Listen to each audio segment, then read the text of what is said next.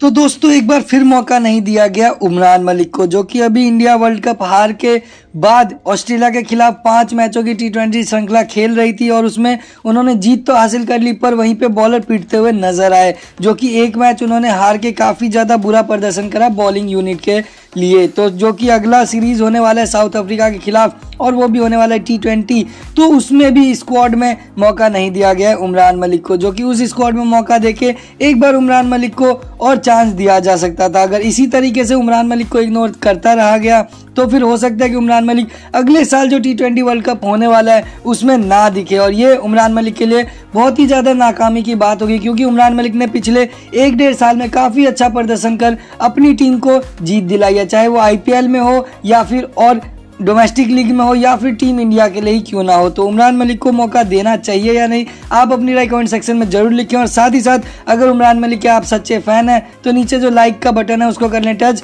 और हमारे चैनल को कर लें सब्सक्राइब तो फिर मिलते हैं अगली वीडियो में, तब तक के लिए धन्यवाद take care keep playing play hard